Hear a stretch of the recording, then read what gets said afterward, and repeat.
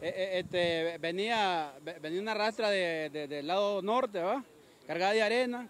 Entonces, mi hija al ver el, el, el, buque, la rastra que viene ya se parquea al lado, al lado derecho, a la orilla de la, de la cuneta.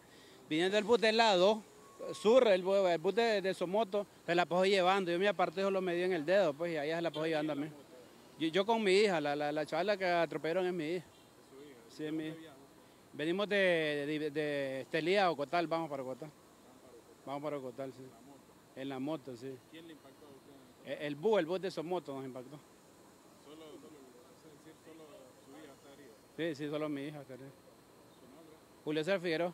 ¿La moto quién la manejaba? Eh, Ca- Catherine Yosca Figueroa a mí.